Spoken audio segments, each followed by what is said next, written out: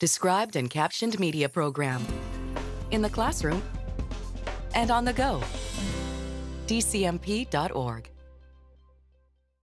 Cerebellum Corporation presents Standard Deviants, the many-sided world of geometry, Program 4. Before we move on, let's make sure we've got the basics. Title, Geometry Review.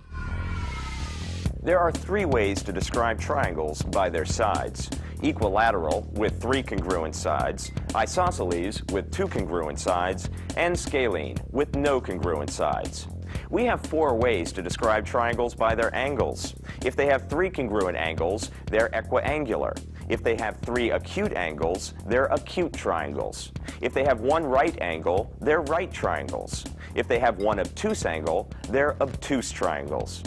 Corresponding parts of congruent triangles are congruent. This is also known as CPC-TC.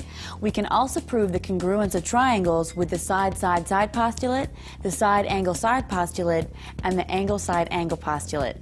The angle-angle-side theorem says that if we know two angles and a non-included side of two triangles are congruent, then the two triangles are congruent.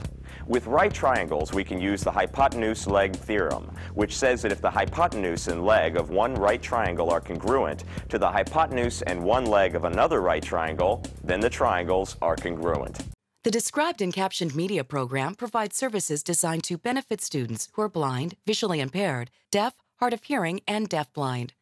These services include a library of free loan described and captioned educational media, a clearinghouse of information related to educational media access, a gateway to Internet resources related to accessibility, and a set of guidelines for adding descriptions and captions to media.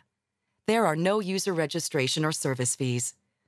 Visit the DCMP at dcmp.org. The DCMP is funded by the U.S. Department of Education and administered by the National Association of the Deaf.